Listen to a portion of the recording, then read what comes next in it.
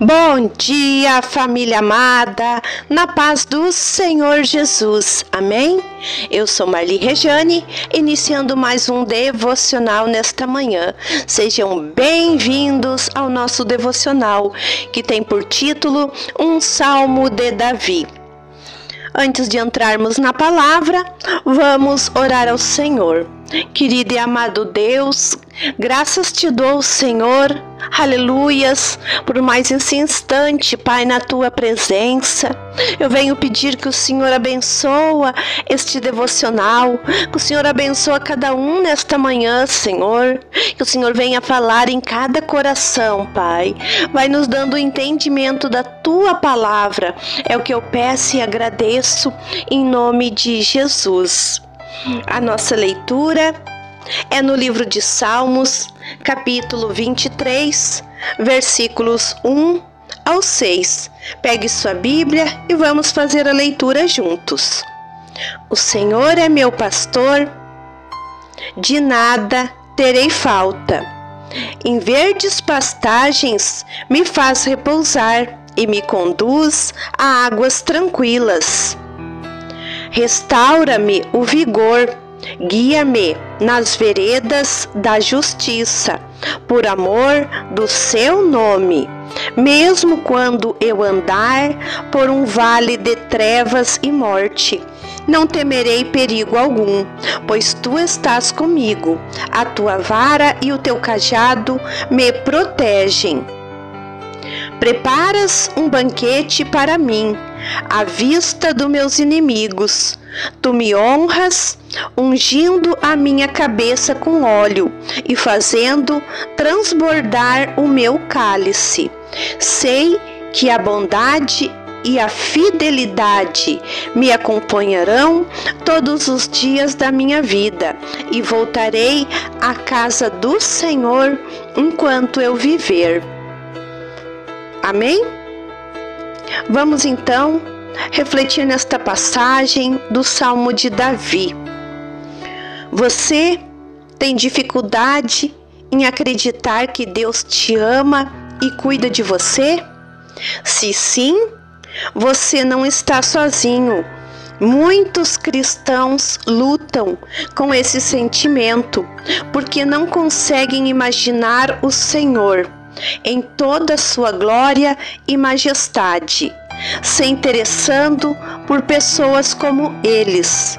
Talvez eles se sintam indignos da atenção de Deus ou pensam que ele está muito ocupado governando o universo inteiro, ou que existem coisas mais importantes para ele do que os detalhes de suas vidas. Davi descreveu o cuidado amoroso de Deus neste salmo. No primeiro versículo, ele identifica o Senhor como meu pastor. Jesus não é qualquer pastor, mas um pastor pessoal. Jesus veio ao mundo e ele se apresenta como bom pastor. Estamos falando de ter um relacionamento próximo. Somos suas ovelhas e podemos ter certeza de seu cuidado por nós, porque ele deu a vida por suas ovelhas. Cada versículo do Salmo 23 descreve como Deus demonstra seu terno cuidado por nós. Ele é um pastor que provê pelas necessidades de suas ovelhas. Deus sabe exatamente do que precisamos e garante que não nos falte nada. Podemos confiar que Ele suprirá todas as nossas necessidades físicas, emocionais e espirituais. Ele nos guia pelas veredas da justiça. E mesmo quando andarmos por um vale de trevas e morte, não devemos temer perigo algum, porque Ele está conosco. E embora possamos nos perder ou desviar de vez em quando, quando o versículo 6 nos traz boas novas. Sei que a bondade e a fidelidade me acompanharão todos os dias da minha vida. Quando nos afastamos, Ele não nos deixa perdidos, mas vai até nós e nos conduz de volta. O Senhor não deixa de nos oferecer um lugar seguro. Voltarei à casa do Senhor enquanto eu viver. Considerando tudo que lemos sobre o Senhor hoje, é fácil ver que ele foi chamado de bom pastor. Sim, o Senhor Jesus é o nosso pastor e ele deseja que sua voz seja ouvida em todas as áreas de nossas vidas. Deixa ele te guiar pelo caminho certo. Ouça a voz do bom pastor e segue-o.